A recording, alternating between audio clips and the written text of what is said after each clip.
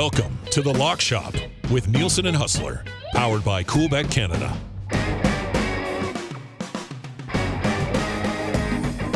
11 o'clock on a Tuesday morning. Welcome to the Lock Shop, everybody. Thank you very much for being here. Dustin Nielsen with you. And Hus will be joining us, popping in here from Winnipeg Sports Talk as well. Busy slate in the National Hockey League tonight. We'll certainly get to that. The Buffalo Bills losing last night. The Lock Shop, it was unanimous. We were on the Denver Broncos plus the points yesterday on the Lock Shop. Hopefully, you rode with us on that one. I did not expect them to roll into Buffalo and take that game outright. That was a little surprising. So we'll uh, we'll get into that as we work our way through. Obviously, changes with the offensive coordinator of the Buffalo Bills out as well. Uh, Canadian Football League. We'll double check on where that line is at and if we saw any movement yesterday. Full slate in the uh, NHL as well. I do want to get Hus's thoughts on um, the National Hockey League trying to speed up overtime a little bit as well. Uh, you Chaz is saying it's shocking that these cans are not opened yet. Yeah, we have we are going to open them as a group, and we just haven't had the whole group here, and they're not cold yet. So we probably got to make them um, probably got to make them cold at some point. With that being said, if you want to see the canning process for the six o'clocker lager, we should have a video coming out. I just watched it with uh, YouTube Trev. He's working on a nice little video that uh, I think you'll find pretty entertaining. So we'll have more details on how you can get your hands on the six o'clocker lager. Obviously, uh, if you are listening right now on TuneIn or at EdmontonSportsTalk.com, make sure you tell your friends about the good content that we're churning out here every single day with Edmonton Sports Talk. And um, yeah, hit us up 780-218-9999. That's 780-218-9999. And we will get to those. Uh, busy slate in the National Hockey League tonight. Playing action in the association as well. So we've got lots to get to as we work our way through the lock shop today. Just looking at the Buffalo Bills. They have the like they're they're rushing the ball. Let's see here. Buffalo Bills, one, two, three, four, five, six, seven, eight, nine, 10, 11. What, they're 12th or 13th in the league in rushing yards this year. Passing yards. I'm just looking at, you know, the offensive coordinator was canned here. The Buffalo Bills have the fifth best passing offense, yards wise, I guess, so far this season. They got 70% completion percentage, which is second best in the National Football League. Um, and we can make a case here that the 11 interceptions might be an issue, but that's more of a Josh Allen issue than I would think a scheme issue. Um, so yeah, interesting, interesting decision. Um, something had to happen. We asked it this morning on our show, like the Buffalo Bills sitting 10th in their conference. Something had to give at that point, and it's obviously a guy that's been in the spotlight a, a number of times for different reasons for the Buffalo Bills. Um, so Dorsey getting axed earlier today. Hus joins us now. Hus, how you doing, buddy? Living the dream, Dusty. Living the dream. Grey Cup week. see you out there in the hammer this week. And listen, I was a little bit bummed out about the way the weekend ended with the Jets losing and prevented maybe the best perfect week in lock shop history. but it was still a very good week. The account was doubled. And then last night, I mean, I don't even know what to say. We didn't get the Shakir catches, which was unfortunate. No, we didn't. But Javonte, play of the day, easy cash early on. Broncos with the points, never really in doubt. Never in doubt. We were all on that one. That was easy. But for the Buffalo Bills to go full Saskatchewan Roughriders on that final play and give Wil Lutz an extra shot to cash the over three and a half field goals, that was truly the perfect ending to the week. Um, that game was crazy in so many ways. I know you just mentioned that Dorsey got whacked. Yeah which is wild because when you break it down and look at the Bills' offensive performance so far this season, they're still basically top five. I know. I was just looking at it. They're they're they're third or fourth in the league in passing yards. Um, 70% completion percentage was a second in the league. They're a top half of the league in rushing yards. Um, but it just kind of felt like it was always coming for Dorsey, didn't it? And he's doing that really without a great group of weapons let's be honest. It's not like that receiving corps is extremely deep with the Buffalo Bills.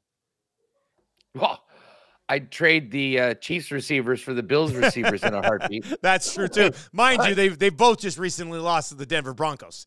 So well, the, the Broncos, the, the Broncos are on a bit of a heater right now. Bronco fan is back. Bronco fan was feeling like he might even actually bringing his orange and blue back out into the regular rotation now and admitting publicly he is Bronco fan once again.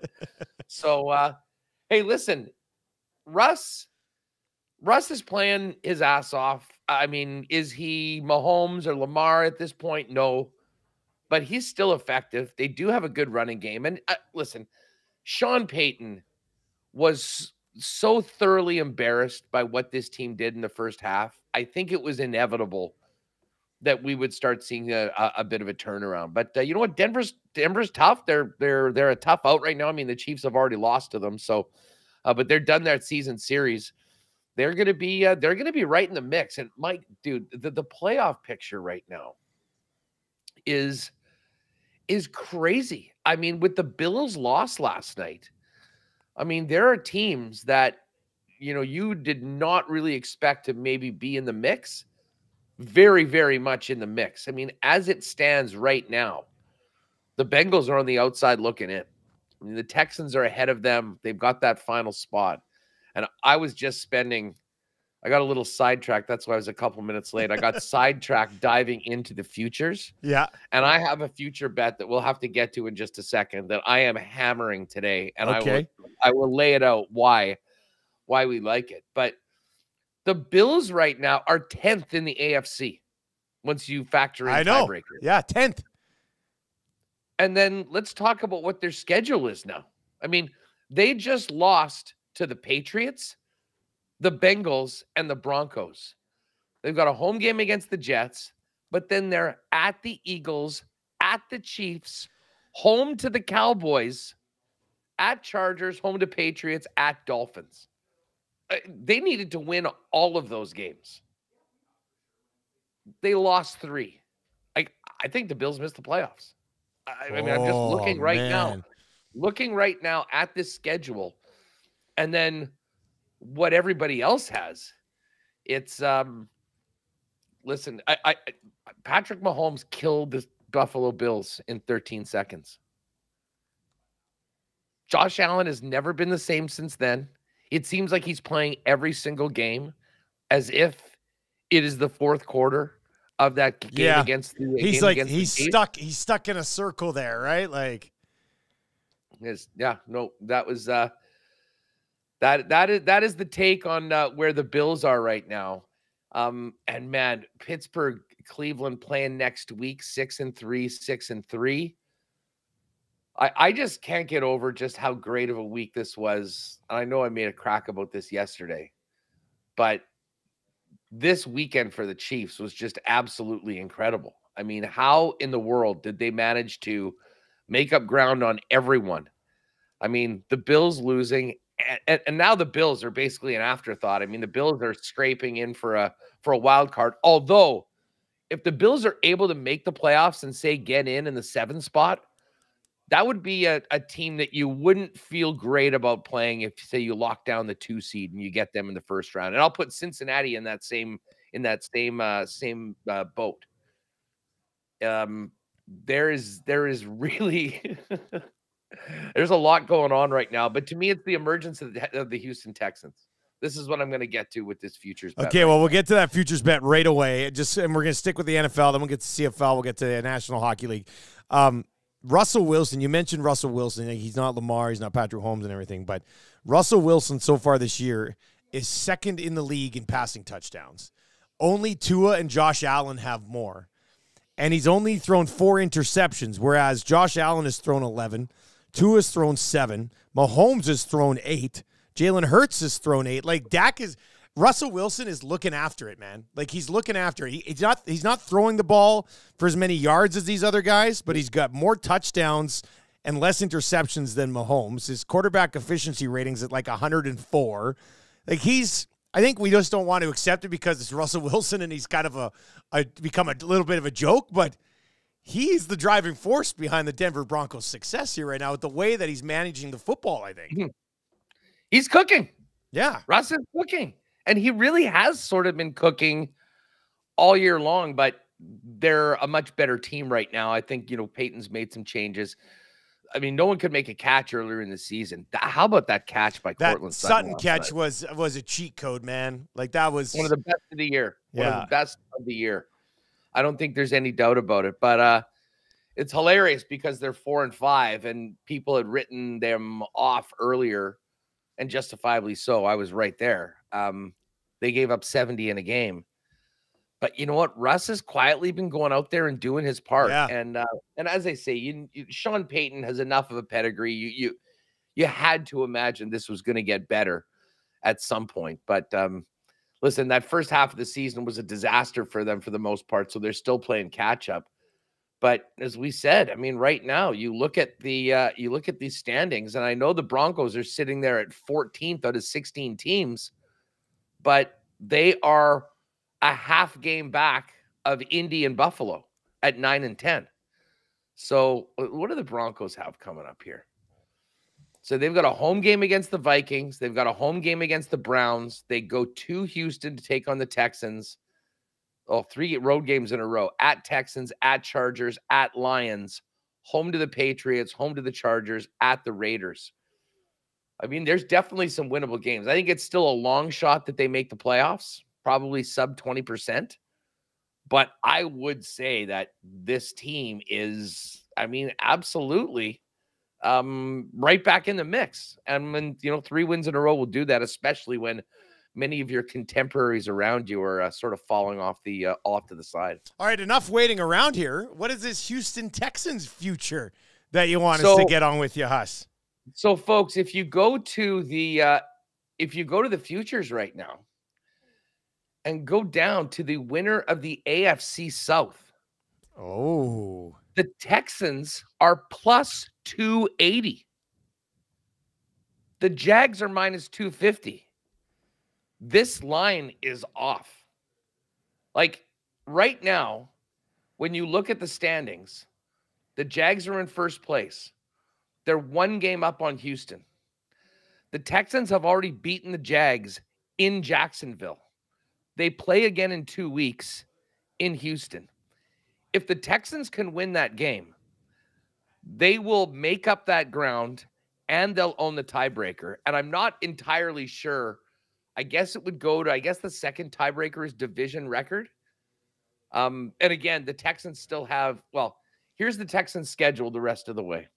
yeah, I'm looking They're at it right now. It's pretty Home to the. Cardinals, the huge game against the Jags, Also at home. an- another home game. They've got three straight home games against teams that are well, the Jags and the Cardinals, and then the Broncos that we just talked about. Not an easy game, but um, certainly, I mean that Bronco defense still leaves a bit to be desired, and the way Texans are uh, moving the football. I mean, they put up over 500 against the Bengals in Cincinnati last week. Then they go to the Jets, at the Titans, home game against the Browns, home game against the Titans, and at the Colts. I mean, I see I see five wins for sure in this game, and I could see them winning six games. Do you want and the- that doesn't even include the Jags. Do you want the Jags schedule? I got the Jags schedule here. This is this is what it's going to come down to, right? So the the Jags get the Titans in Jacksonville, then on the road against the Texans, home against the Bengals, on the road against the Browns, home against the Ravens, and then they finish with Bucks, Panthers, Titans. So there's a pretty tight stretch in there where it's Bengals, Browns, Ravens, and those are the three games coming off that huge game against the Texans. I mean, if the Texans win that game against Jacksonville, pretty much their division to lose at that point when you look at the hmm. two schedules moving forward. Well, it, it- listen, if the like, let's say these teams both win next week, and then Houston is able to beat Jacksonville in that game, you can basically swap the odds right now. The Texans would be minus two fifty, and the Jags would be plus two eighty. I like Dusty. The reason this line is where it is is because nobody watches the Texans. Yeah. Like unless you are rolling in a confusion corner on Sunday afternoon with seven different games for the early slate, I mean, you're gonna get the odd highlight. Like, oh wow, CJ Stroud had a great play in the last two minutes. I wonder what happened. You don't see the fact that he's slinging it all over, dude. CJ Stroud. What? uh, Just while we're here, what? Where's the MVP? Let's just check the MVP awards right now because I would love to know. I mean, CJ Stroud's minus 2,000 for offensive rookie of the year. They don't have him here. I did see him at some books at 30 to 1. I mean, I guess the the longest shot they've got is Tyreek Hill. But I mean, if if the, if the Texans go say, if they beat the teams that they should beat, Yeah. and win that game against Jacksonville, they could be an 11 or 12 win team. All he's done so far is, as of the moment, second in the league in passing yards behind league leader Sam Howell. Not sure you had that on the card. Excuse me? Sam Howell leads the league in passing yards tonight with 2,783. CJ Stroud sitting there at 26 26. Um, not a great completion percentage, but you know what is great? 15 touchdowns and two interceptions. Like as a rookie, this dude's not making mistakes, man, which is insanely impressive when you're also second in the league in passing yards and your team relies on you to basically do everything for them, right? So, yeah. I was just about to say you mentioned the 15 touchdowns and two picks. Like when you look at the at the game log by game by game, like he's throwing the football 35, 40 times Oh, yeah. a game sometimes. yeah, the whole I mean, offense this isn't relies around him. protecting a rookie quarterback and relying on a running game. The running game is garbage. Take it from me, Dameon Pierce, owner, can't even get in the lineup. It was Devin Singletary that went off on uh, on last week. Like I cannot say enough about DeMeco Ryans. He let's see, coach of the year. So a lot of love for Dan Campbell right now. He's at plus 160, but DeMeco Ryans at plus 325 Also good value. Yeah. like i mean to me it, it has to be one of those two guys. I know mike mcdaniel was tied with dan campbell a couple weeks ago.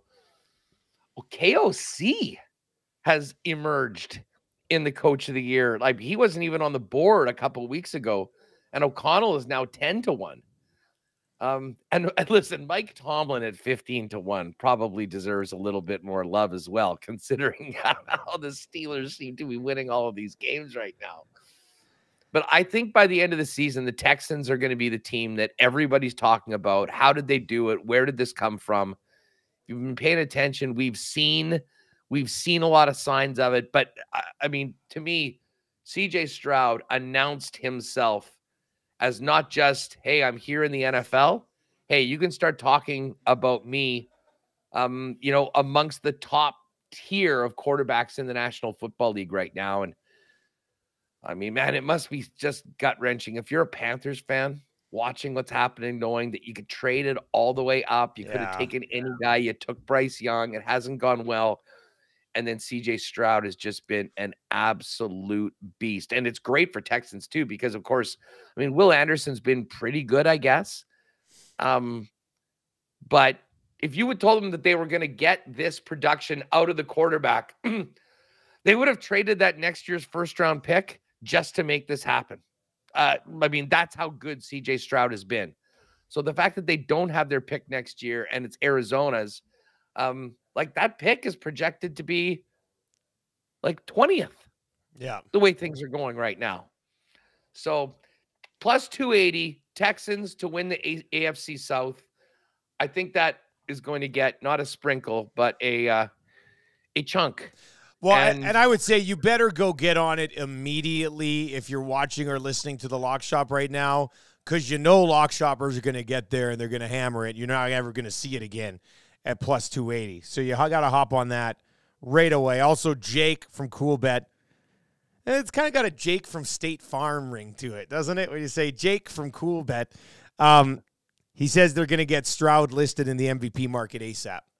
So watch for that to pop up too if you want to get a little hmm. sprinkle on it because I would assume he goes from off the board to not like brilliant odds, so probably still really reasonable odds there as well. Jake, put him in. Jake, start him in there at 55 to 1 with Tyreek, bottom of the board, and Yeah. then let us hit on it, and then Let's boom, it it'll up go bit. up to 25 to 1. Well, somebody texted in. Somebody basically texted in and said Stroud is either the MVP favorite or it's Tyreek Hill. Like when you look at the guys that are having these ridiculous seasons right now, that's might not be how it works out in the end, but I can see how you can make a significant case for both of those guys, man. Well, McCaffrey over Hill. I mean, if we're not talking quarterback, I'm taking McCaffrey over Tyreek Hill. Let's see some of these receiving stats here. Like McCaffrey's 20 to 1 right now. He's the top non-quarterback. And just for people listening on the podcast, we'll fill you in here. Mahomes, favorite, three to one. Jalen Hurts plus 325. Lamar plus 550. Tua six to one. Joe Burrow 17 to 1, and that's a future bet. That's like saying, okay, the Bengals are going to run the table. Um, and then McCaffrey's at 20 to 1. Josh Allen, I think you can pretty much cross him off the list after last night. He's yeah. 25 to 1. Jared Goff, 30 to 1. Then he that that that guy does not get the respect he deserves. No, he doesn't, man. He doesn't right now. Purdy 30 to 1, Dak 32 to 1, and then uh Trevor Lawrence, not a chance, 40 to 1, and uh Tyreek Hill 55 to 1. Like Tyreek will be, he'll he'll probably what do we have for offensive player of the year? That is not listed right now, I don't think. Yeah, he leads receivers in touchdowns. He leads them in yards. Mind you, AJ Brown's lurking around in that yards category. They're the only two guys over a thousand yards right now. Um, whereas Christian McCaffrey obviously does a lot of everything. Hmm. He's got nine rushing touchdowns. He leads the league in rushing yards as well. Derrick Henry just plugging along, second in league in rushing yards. Everybody's basically retired yeah. him nine times over, but uh, he's at 625 yards as well. Top five in rushing yards right now: Christian McCaffrey, Derrick Henry, Josh Jacobs, Travis Etienne, and Zack Moss churning out over 600 yards already in that offense. So this is a, this is a nice back thing. Up, uh, yeah, exactly. This, this is a nice thing to every week in the NFL. You know, in addition to just kind of looking ahead to the slate and recapping. You know, Tuesday is a great day to kind of reset these futures, right? Because there's always value there. As Hus said, found some really nice value on the Houston Texans, even at the uh, the cost of my Trevor Lawrence love with the Jacksonville Jaguars. And you know what's funny is that in two leagues, I have both Trevor Lawrence and CJ Stroud. And I am starting CJ Stroud over my own guy right now. I'm just like, I can't do it. CJ Stroud's a monster. He's probably, he's, I, I think Mark in the Nasty Chat made a really good point. Like in best ball leagues, CJ Stroud is going to win you a ton of best ball leagues because he would have been taken in like the 17th, 18th, 19th round in a best ball league, and you would have just set that roster and left it, and he's going to absolutely how many steal times, the show. Like you know what, anyone that had the foresight to grab CJ Stroud, good for them. Um, buddy, my, I have a feeling that he was UDFA in most of those leagues. In, in yeah, oh yeah, for sure. In my one league, three weeks ago, I'm sitting at one and six, and I'm like, screw it, I'm done. So I traded Aaron Jones and Amari Cooper to a guy, and I got like three draft picks and quarterback CJ Stroud coming my way. And CJ Stroud has won me three weeks in a row, and I'm tied for a playoff spot now. So it's like I went to rebuild. I traded for my quarterback of the future, and he's just he's helping me win now. Like he's he's been absolutely sensational. So yeah, it'll be interesting to see how CJ Stroud and the Texans play out the rest of the way. And what a monster hmm. game against the Jacksonville Jaguars in two weeks. And I think that's 11 o'clock. That's an early slate game on a Sunday. So hmm. uh, that'll be a good one for sure. Uh, anything else in the NFL, Hus, or should we look at this line movement in the 110th Grey Cup? Uh, well, just the only other NFL story, and I'm not sure because I know I came in just a couple minutes after you had started, but – did you publicly congratulate me for my win over you in fantasy this week? Well, was that, was that, is that who I was playing against? Big Red, baby. Oh, dude, I didn't even know you were Big Red because I was on the on the fantasy football five yesterday.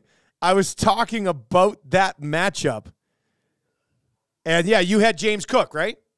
I had James. Cook. You had James Cook, yeah. Thirteen points was all we needed. How about that? the early fumble, which I'm not even sure that they attributed to him. Um, but the the play where he fumbled and it bounced right back into his yeah, hands, and he took off. He ended up going for 60 yards. Like that basically is the difference. It was a, a 111 to 107 victory for Big Red. Here's Still a, waiting for my guy Justin Jefferson to get back. Here's our here's our lineups right now. I I guess I had Kelce on bye this week. And and Waddle on bye, and Higgins is hurt. Anyway, I do have CJ Stroud in that league too. You were starting Baker Mayfield.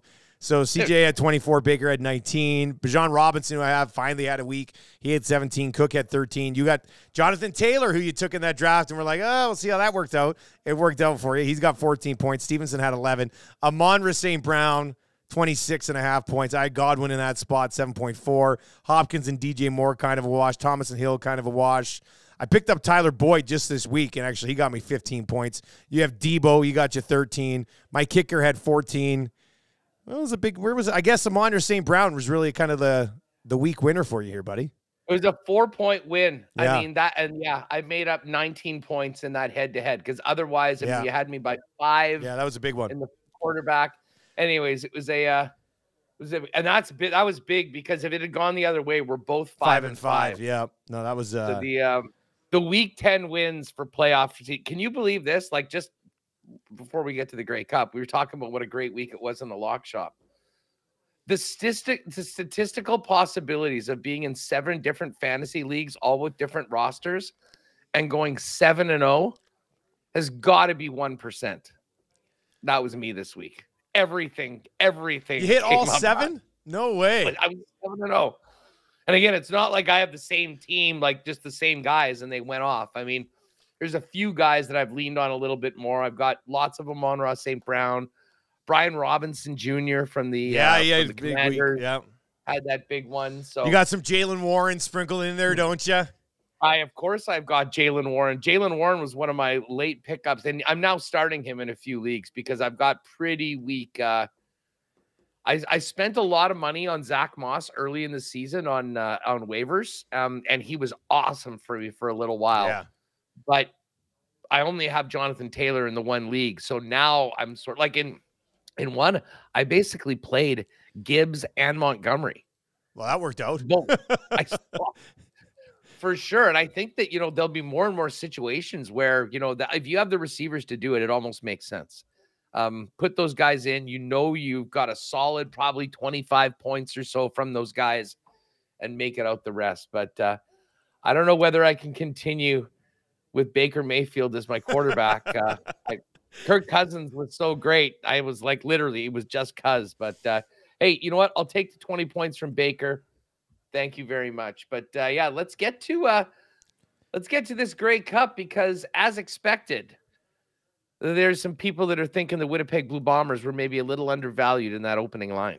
Yes, it has moved from seven and a half, and in 24 hours, likely even less. I don't know when this got to eight and a half, but the Winnipeg Blue Bombers are now eight and a half point favorites in the Grey Cup. Hus, uh, we knew you were on them at seven and a half. You wanted to get in there quickly because you were expecting the line to move.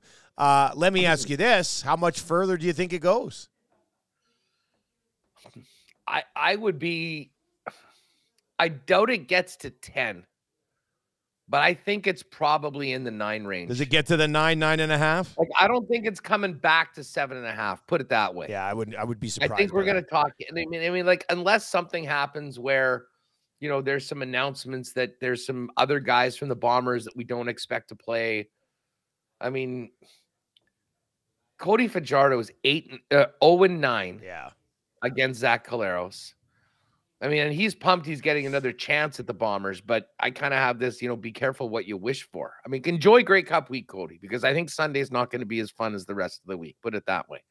Um, and now with Big Hill hurt, like you know, they've got the athletes to go in and and, and fill his spot. It's a matter of like I think this will almost be a rallying point for everybody on that team because of what a what a beloved leader he's been, and uh, what a huge part of this has been for the last little while. Um, and I'll tell you what, I think Zach Collaros is a monster game. I know that it was very, very low key when it came to the passing game when uh, you know in the BC game on the weekend. But I think Zach's going to be there and try and put a real stamp on the history that he's making, um, winning three or four right now. So right now, 8.5 for the Bombers, and it's minus 112. Uh, I think we could basically see nine, nine and a half on the weekend. I doubt it gets to 10. Um, and I see the money line's gone up quite a bit as well. I mean, the money line was minus 333 yesterday. It's now minus 385. The Alouettes was my, it was plus 250 yesterday. That's now up to plus 305. So uh, we're still a little ways away from getting the props. And as I say, I need the sack total like I need air right now. Give me the sack total. Get it to me. Get it to me. They played twice this year 47 17 and 17 to 3 wins. So the Bombers beat them by at least 14 both times, 14 and 30 times.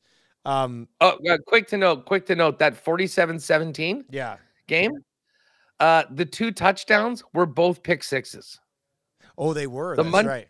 the Montreal offense scored Two field scored goals. six points Two field goals this season against them. quarters against the Bombers. So I've got some good numbers here. Uh, John Perlberg, who's one of our great stats guys at TSN, just a just a little bit deeper into Cody Fajardo versus Zach Collaros in their career. Okay, uh, they've played nine times in those nine games. The average points have been twenty nine point six to thirteen point one. Completion percentages, you know, Cody's not bad in those games. Zach's thrown for just over 2,200 yards. Cody's thrown for just over 2,100 yards. Uh, Zach in those nine head-to-heads against Cody Fajardo has 21 touchdowns and eight interceptions. Cody Fajardo has one touchdown and nine interceptions. So Zach in the head-to-head meetings has thrown 20 more touchdowns than Cody Fajardo, and Fajardo has only thrown one touchdown in nine games against Zach Collaros. Now, Zach's been part of teams that have had some really good defenses along the way, but that's about as lopsided it can get. And then I love this. Go ahead, Hus. He still is. Yeah, I know, I know. He Uh, was part of a team that's very ask Vernon Adams. So Fajardo in his career has a 696 winning percentage against all other quarterbacks he's ever faced. He's 39 and 17 in those games.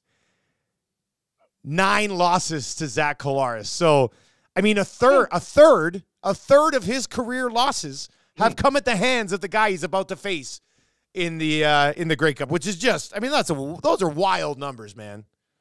That's nuts. It- it- I mean, I guess you could only get that sort of thing in a smaller nine-team league.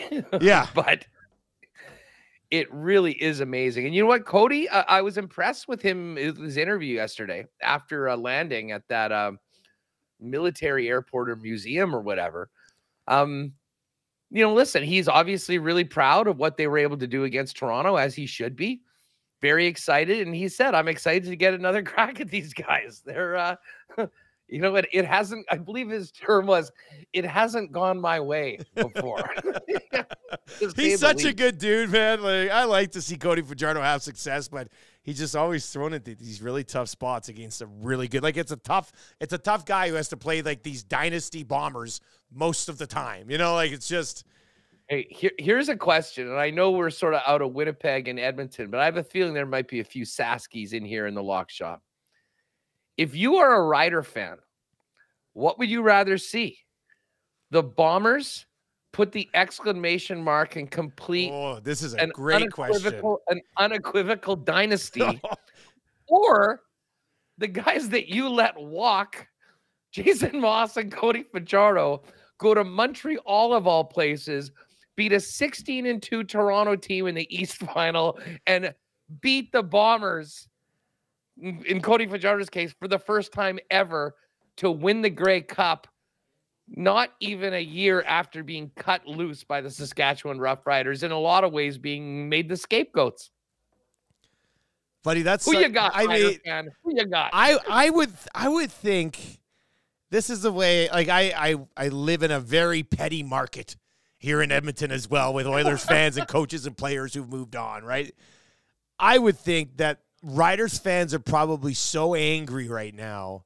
They'd like to see Maas and Fajardo win so they can just look at the current management group and see, see, you had these guys and you let them go. This is on you. I feel like that's probably the way. Plus, then they have the anti-bomber angle on it as well.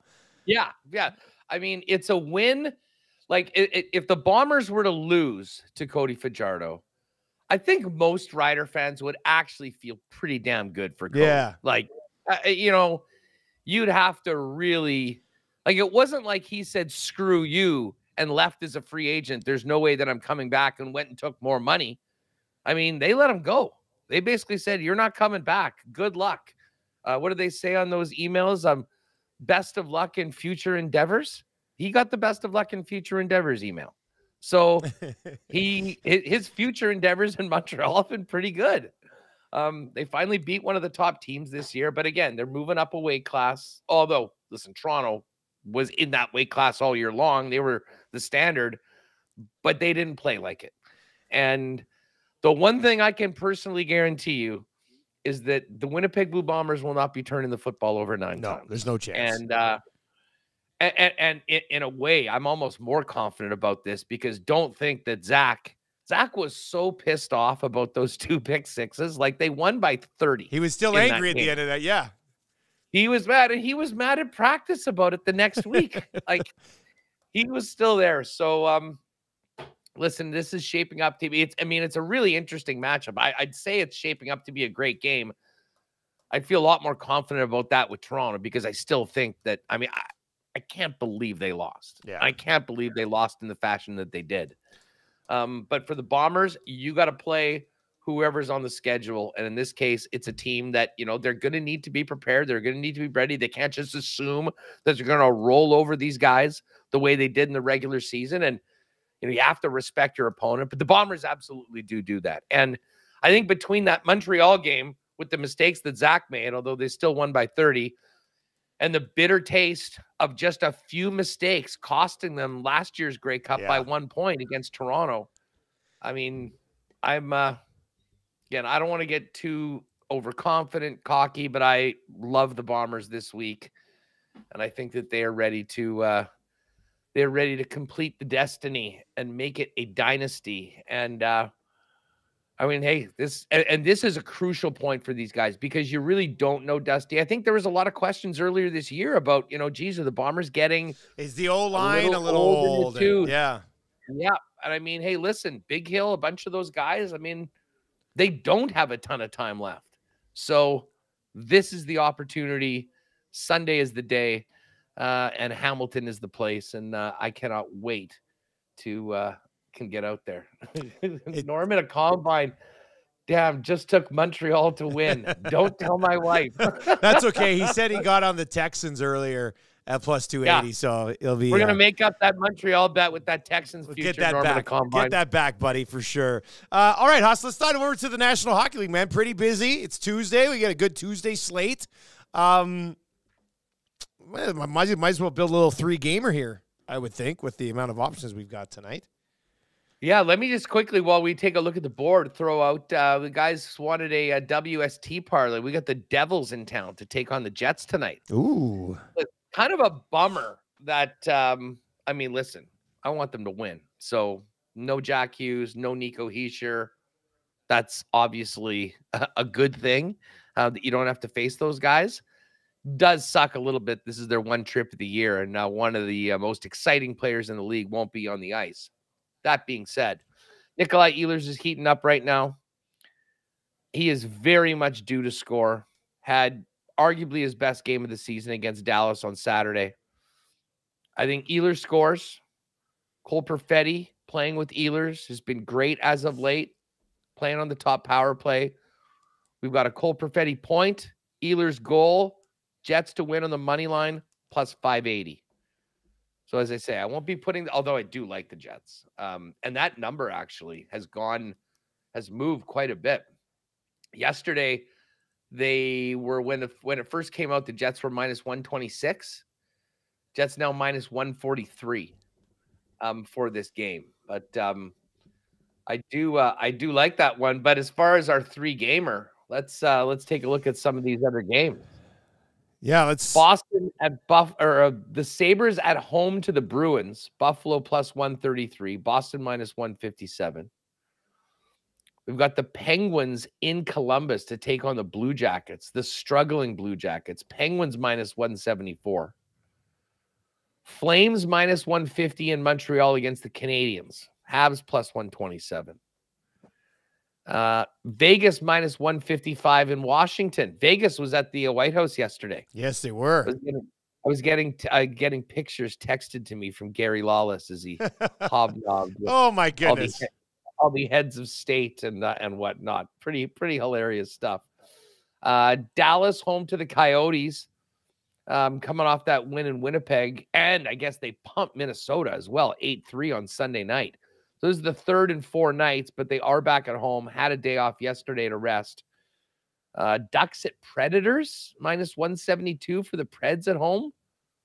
They're not very good right now. I, I don't. I tell you what, I'm definitely not on the Preds at that number. I just, yeah, Uh, I'm gonna pull up starting goalies. Yeah, I, I have I have the starting goalies here, Hus. I can I can whip you through those. I've got uh, here's what we've got so far tonight uh, as far as confirmed and likely. Pittsburgh and Columbus, Merzlikins.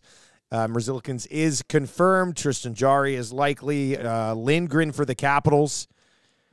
Uh, Logan Thompson likely for Vegas. Uh, Montembeault and Markstrom in that Calgary Montreal game. Ullmark and uh, uh, Levi with Buffalo. Hellebuyck and Akira Schmid is likely. Juuse Saros is likely. John Gibson is confirmed. Jonas Johansson's confirmed for Tampa. Binnington likely for St. Louis. Oettinger confirmed for Dallas. Vejmelka unconfirmed at this point for the Coyotes and then Anthony Stolarz for the Florida Panthers and Mackenzie Blackwood for the San Jose Sharks. Those are your starting goalies tonight in the NHL. Yes, so uh, Blackwood's been pretty good lately. Um, the Oilers will know that. Yeah. um, hey, just quickly before the picks, how's the uh, how's the text line? People right back on the wagon, ready to roll here now with, with two wins in a hey, row under the new coach. As we say in this market, hustle, wins a win. Uh, even though yeah. you only had 14 shots on goal through two periods against an Islanders team that has zero offensive jam. Um, they, you know what? They they basically the Oilers sort of like played a tight Islanders style. I thought the Islanders dictated the first two periods. Oilers got a couple of power plays in the third, banged in a couple quick power play goals, and then added an empty netter and got business taken care of. It was by no means a dominance. Oh my God, the new coach has got them going crazy performance but they have a two game winning streak for the first time this season. So they'll take that and they get Seattle again, and then they go on a four game road trip out east Tampa, Florida, Carolina, and Washington. So. And McDavid scored. McDavid scored. It was, uh, should have been stopped, but he'll take it at this point. Yeah, like. Did you get it. the ESP parlay yesterday? Uh, no, you know how we missed it? We had McDavid for a goal, McDavid two plus points. We had the uh, Oilers and Reg. We missed it on the five and a half and ended up finishing at five. We only needed over five and a half, so we missed it by a goal. Oh, yeah. that was it. Yeah, I I remember yeah. what the uh, what the player props were in there. Yeah, we uh we missed that one, so that was that was tough. Um, as for the NHL tonight, here, man, like uh, I don't know, is there anything that really jumped? There's nothing that really. I was on earlier today on our show. I I went with Vegas in regulation tonight because it's a juicy number at plus 106. Um, but I don't know. How do you think the whole visiting the White House and everything impacts a team?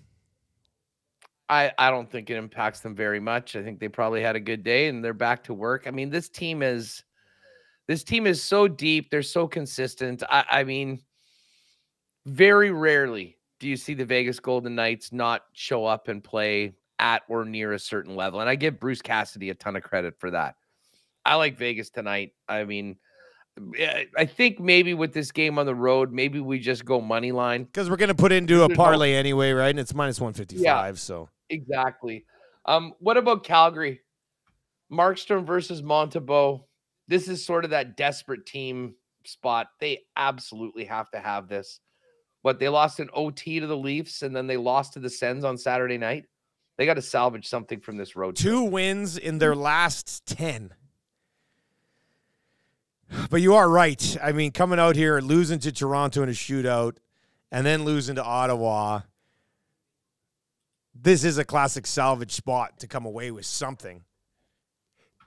Montreal just lost to Vancouver 5 2. Had beaten Boston and Detroit prior to that, but prior to that, they'd lost four in a row. So yeah, I don't hate I don't hate the Calgary. I don't hate the Calgary road spot tonight at minus 150.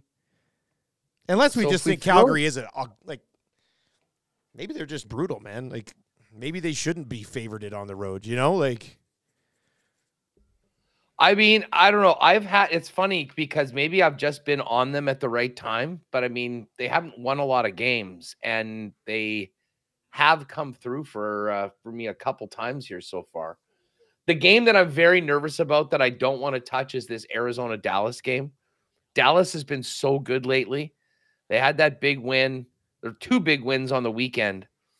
I have a feeling like if there ever was going to be a letdown, a little bit spot, of a letdown spot. I, I, I have a feeling like this game could absolutely go to overtime, and then you could go either way, even though they've got Oettinger in. What about Tampa and St. Louis? Well, this is an interesting one because which side are you thinking here? I'm thinking Tampa. I think that the St. Louis is. I mean, Tampa has not been very good. They just lost four nothing to Chicago, or sorry, four nothing to the Hurricanes, and they lost five three to the Blackhawks. I know, and St. St. Louis has won four or five and just put up eight on Colorado. So I'm St. Louis has won four of five. they've won four or five, man. They they beat the Devils, they beat the Habs, they lost to the Jets. That's their only loss in like the last ten days, and then I guess that's why I'm. yeah That's why I'm feeling. yeah they beat Arizona, and then they absolutely walloped Colorado. Okay, what, what? When was this? I I completely missed this eight two game.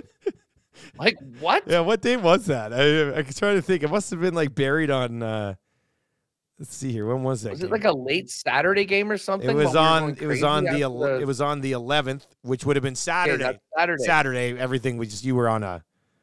You were on a heater on Saturday, game- probably. So That game, that, that game, Jack Johnson scored with 28 seconds left to make it 8 2. It was 8 to 1. okay, maybe I don't feel so good about that. I still think Tampa's better. And I guess, you know, I'm basing a lot of this on seeing what the Jets did to St. Yeah. Louis in St. Louis So did week. St. Louis just look brutal in that game, or what? Dude, the Jets have played St. Louis twice this year, and it has been, I mean, they have just dominated pretty much all six periods. I mean, they're just a step ahead of them. And maybe that's just a credit to how the Jets are playing right now. Um, but yes, St. Louis all of a sudden seven, five, and one. Maybe they are a little hot. Well, okay, let's just maybe stay away from that game. Um, Panthers Sharks. Let's see what what's the Panthers in reg number? 164 in reg. Uh, or puck line is It's almost plus, I think. What's it at? I looked at it earlier. It's minus one yeah, yeah, four. minus 104. So if we put if we if we took Vegas, Calgary, and the Florida puck line, we get it to plus one forty eight, plus four thirty eight. If we take it in reg instead, it's at plus 341. I think I like the puck line. Let's do it. That's Okay. 341 too low for a lock shop partner. Yeah, parlay. exactly. All right, so Vegas, uh, Jake, if you're watching, Vegas money line, Calgary money line, and then Florida on the puck line minus 104 for a lock shop partner. Plus 438. We'll probably get get. We'll probably be able to get that close to Wait, uh, close to five to one. close to five to one. Yep. No, I like that. Uh, Hus, what's coming up on Winnipeg Sports Talk today, buddy? Well, we've got a whole bunch of stuff going on tonight, Dusty. We've got the um, uh, Hammer's going to join us from uh, from Hamilton. Jeff Hamilton will join us from Hamilton. Uh, he just got there, getting ready for Grey Cup. We'll do a quick check in with him. We'll have him on live with us when we get out. Gotta talk uh, balanced schedules. Balanced schedules are back. Home and home with That's happening. home and home. Randy Ambrosie announced it today. Home and home with every team in the league next year, and then a couple of other extra games. I would hopefully assume against rivals. So, yeah, about time. How did this take so long? Like, keep the East and West if you want, make it one division. I don't care. But for crying out loud, folks, I mean, it was just so dumb. You have that incredible Grey Cup last year, and the Bombers and Argos aren't scheduled to play at all until September 29th. It's their only matchup of the year. And by that time, the Argos had already finished it up. I realize picking schedules is very difficult. There's lots that goes into it. But uh that is great news. That is absolutely great news. So yeah, we will get to some of the details just coming out of the uh, the coach. Mo Khan will join us. We'll get the perspective from Montreal on the game, um, and then a lot of uh, a lot of hockey talk. Uh, Mike McIntyre coming up. Uh, we'll tee up tonight's Jets Devils matchup, and uh, Sob Shane O'Brien as well coming on the show today. We'll uh, maybe get a few funny stories from SOB and see what's going on with the missing curfew guys. I uh, I got I got we got to this one text here before I let you go. It came in 780-218-9999. Some good text messages. This one's good too.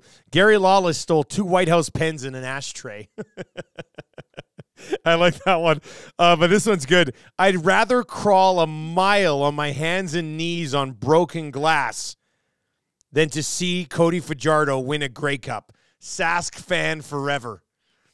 So, Really? Yeah. So, so Sask fan would rather see the Bombers yes. win a third Grey Cup in four Than years Cody and be Fajardo. referred to as a dynasty than seeing that. That, my friends, is as petty as you get. Uh, Winnipeg Sports Talk is coming up. We're going to have fantasy football five here quickly, and then two guys and a goalie, and lots to get to around the National Hockey League. No doubt about that. Hus, uh, I'll text you after the shows today, buddy. yeah, it sounds good. And we'll figure out what the rest of Yes, this week is going to look like. It's going to be, uh, going to be wild. We'll find Uh, good luck, lock shoppers. Texans plus 280. Win the division. Let's go. That's going to do it for the Lock Shop. We'll talk to you tomorrow.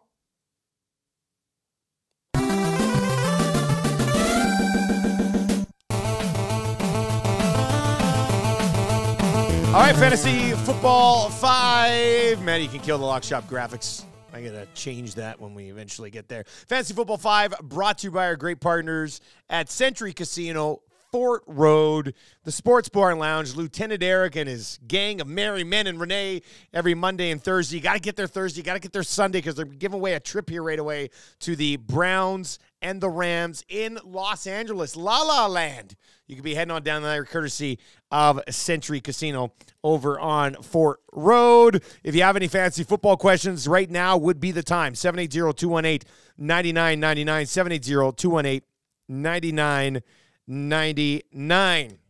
Let's get to this one quickly. It's not fantasy football related, but hey, you can hit us up in the uh, nasty chat as well. Uh, Mark, I do see, I know Ken Dorsey, he was fired uh, earlier this morning. Hey guys, I'm ordering one of those bomb EST hoodies. I'm tall, not fat. So curious if I'd be a large or an XL.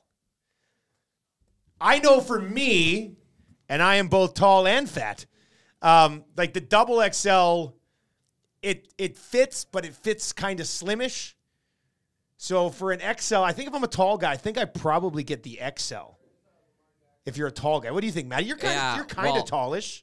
Well, but I'm I'm I border between small and mediums Yeah. on my clothing. I have a medium for the hoodie, and it fits nice. Okay. It's not snug. It's not tight on me. Okay. I feel like it's a little slightly looser. I feel like it's it's a true to feel or true to fit. Okay. I yeah, that might be it. fair. I would say it's true to fit. So what whatever you normally are, I would say is what you should get for this. I don't I, don't, I wouldn't sit here and say we're more slight slim fit or anything like that, or baggier. Yeah, yeah. I think it's very true to size. okay.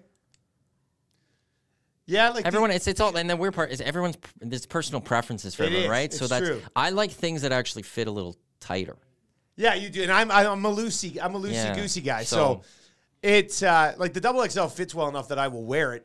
I just think like when I get like a, let's say a black one or a navy one, I guess I could get that done today. Tomorrow, I might get the triple, and I usually don't have any triples, but I think it would just be a little bit more comfortable. But the I've t-shirt, the t-shirt's a double, and it fits great. Okay. So it's like, I think it comes down to, I mean, the material that the things are made with. I guess. Have you tried on one like the non-hooded sweat? Like, did you ever get a look at that? Does anybody the get sweatshirt. Yeah, yes, I'm getting it before anyone else. Are you gonna get it? I ordered because I put got one for me coming with the the first order we Okay. have in, so that's coming. All right. So yeah, our, We've never tried the champion shirt sweater though. No, so it's like, no, but, that's but it's a champion, so it's like how that fits, and I do feel like that might be a little bit tighter, but I guess we'll find out. I would uh I would hop on it. You got to go now because it's gonna tomorrow's the last day for our pop up store for the EST shop. So go to EdmontonSportsTalk.com, click on shop, and get your swag now. We'll hammer that out tomorrow morning on the show as well. Uh, Louis wondering, hey, how come the post game show from last night didn't get uploaded onto? Uh, did it get podcast last night? The post game show. there. It should be there. He says it's, uh, you Um, can't see it on Spotify.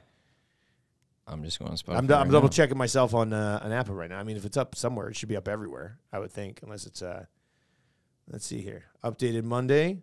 Post game show's on there. Yeah, it's on there. Is yours on there? It's on uh, on on uh, it's on Apple. It's not showing up on the. sp- Uh, might just have to like refresh. no, like, it's not uh, showing up on my Spotify. Yeah, so you might we might have to go in and just like republish it. That's weird. Libsyn, It's and it supposed to go all the there. way. Yeah, no, That's I know. Sometimes I had that happen one other time. I think with like a two guys and goalie or something. On it. Um, this text is in 780. I'm going to take a look at some waiver wire targets as well. Uh, 780-218-9999 or in the nasty chat. Uh, Rick and Jasper says, drop Jamaal Williams to try to grab Chandler. What say you? Uh, I say yes. I think I would probably do that. Chandler is up right near the top of the waiver wire rankings with Mattison being concussed. Obviously, that's something that you'll have to monitor moving forward. Um, but yeah, I mean, some guys you can look at. I'm a little surprised. Like Devin Singletary is only 50% rostered in in most leagues, and Devin, Devin Singletary and that Texans offense is absolutely becoming a juggernaut. And I picked him up like three weeks ago, two weeks ago. Was it two or three weeks ago? Anyway, I picked him up, and I was like, "Damn it!" Like he was like, there was nobody basically left on the waiver wire except for Devin Singletary. Dameon Pierce was healthy. So I was like, screw it. I need somebody that I can at least start who's going to get some touches. So I did, and he actually had me. What do you have this week? 20. Let me see quickly. I think he had like 20, 20 some points. Juan Rincon Football League, Devin Singletary, 23. 23 points this week, 30 carries, 150 yards, a touchdown. Now, that's not going to happen all the time, but Singletary's kind of like at times so far this year, he's looked like that guy that Buffalo just never really gave opportunity to. They're just like, ah, oh, Singletary's not the guy. Singletary's not the guy. Um, maybe you blame Dorsey for that. He's out. So Singletary, Ty Chandler. Uh, this is a guy that's going to be like the big fab guy this week. I would think in most of your leagues, he's owned in like 6% of leagues. Keaton Mitchell actually paid off for me last week. He was my big fab guy. He came in double digit points. He's still only 36% owned in leagues. Demario Douglas with the New England Patriots, 32% owned in leagues. This guy here, I'd put even higher than Demario Douglas on the list. Noah Brown with Houston. I know that Nico Collins was out this week and it's different, but I honestly, I think you've gotten to the point in three wide receiver in a flex leagues, or even depending on what the bye week situation is. I think there's a case that you can make that with CJ Stroud at quarterback, Nico Collins, Tank Dell, and Noah Brown are all startable with different expectations, obviously. Brandin Cooks had a huge week. Has it finally clicked, or are you going to buy into him and that's like the one off? But Brandin Cooks had a huge week. He's only 44% owned in leagues. Um, and Rico Dowdle, he had a touchdown this week, garbage time touchdown, but Tony Pollard cannot score a touchdown to save his life. So that's a guy that you could kind of stash for now. I had him on some leagues and a little bit uh, deeper leagues as well. So, um, yeah, that's a look at the the waiver wire so far. I mean, the top three that I would really like if you find, if you can find Singletary, I'd get him. Chandler and Noah Brown would probably be the top three targets for me this week. And Charbonnet with Seattle's I don't know. I'm I'm not there just yet, but he would be a top 10 guy, I would think. Hey, I just got a I just got an email from our sticker and deco company. Our stickers have been delivered. They say, well, it says rescheduled delivery, but it also says here your delivery is being completed. So my family's at home today. These would have been dropped off. Well, maybe. In fact, they might actually have it up. Tam, text me if the stickers arrived. That'd be great. Well, maybe though it's it's rescheduled, so the first one is quote unquote done, and now there's the new date.